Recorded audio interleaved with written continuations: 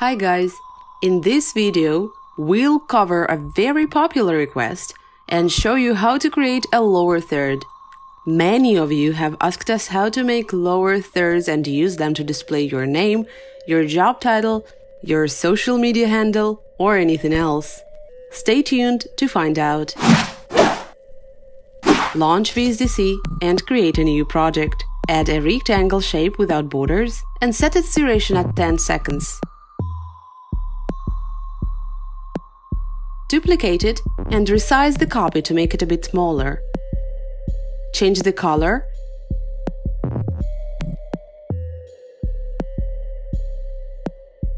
Now place the title on the big rectangle, but set the same color for the text you chose for the small rectangle background. The same way, place a subtitle on the small rectangle using the color of the big rectangle background.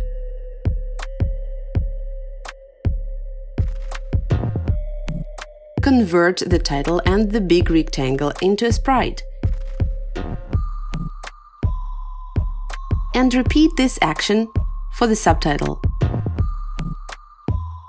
For your convenience, you can turn off the visibility of the subtitle sprite. Make a double click on the first sprite to open it. We are going to turn off the visibility of the text here Place the rectangle a bit higher to the left from the sprite border. And make a double click on the rectangle. Then apply movement to it. We are going to place two movement vectors, one from 0 point to the first second and another one between 1 second and 2 seconds on the timeline. For each point, set the following parameters. Path start point, yes. Start speed, 0. By the way, if you are not sure the movement vector is straight, you can fix it using the coordinates. We are going to place two movement vectors, one from 0 point to the first second and another one between 1 second and 2 seconds on the timeline.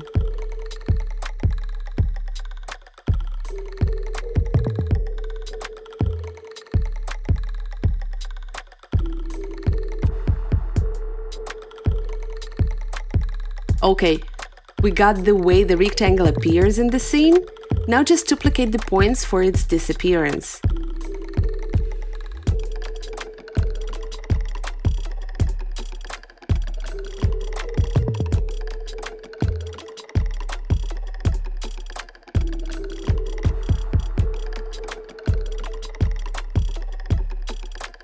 Great job!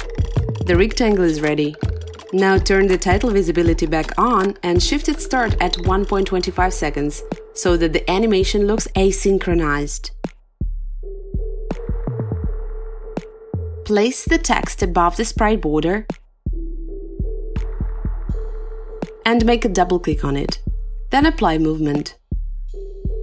The movement vector should be located between the 0 point and 1 second on the timeline. For each point, set path start point and start speed 0.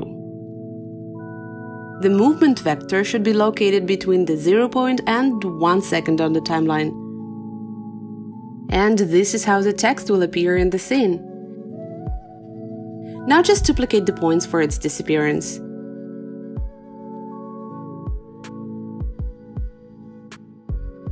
Perfect! The text is ready. Let's go back to the main timeline tab and set the sprite parameters. Use as container? No. Show effects? Yes. Fill background? No. And this is what it looks like so far.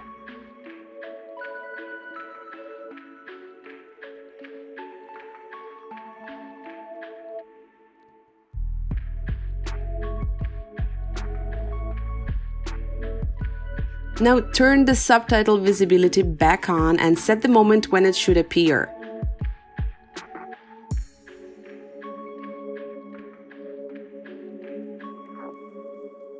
Then make a double click to open it.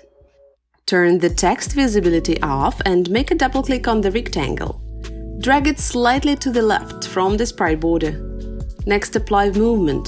The movement vector should be placed between the 0 point and the first second on the timeline. Make each point a path start point and set start speed at 0.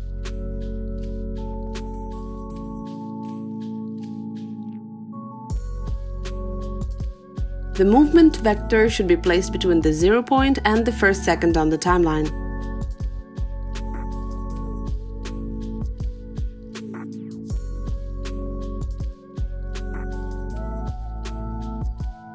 Now we should probably reduce the sprite duration down to 9 seconds instead of 10. To do that, just select the subtitle text and the rectangle and change their duration to 9 seconds.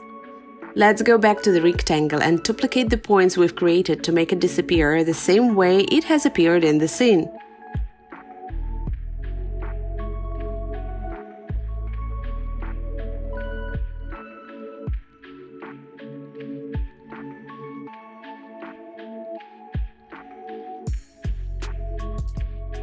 Place the text a bit to the right from the sprite border and make a double click on it.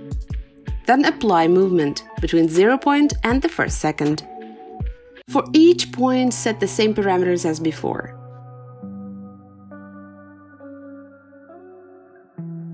Then apply movement between 0 point and the first second.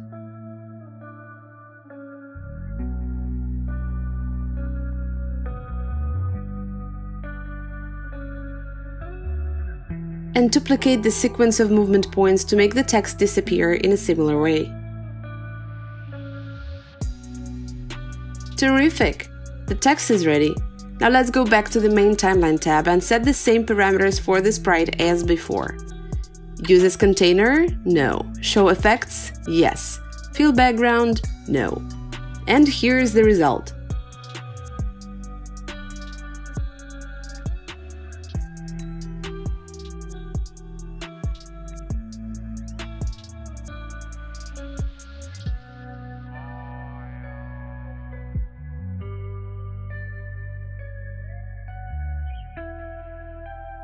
Bonus!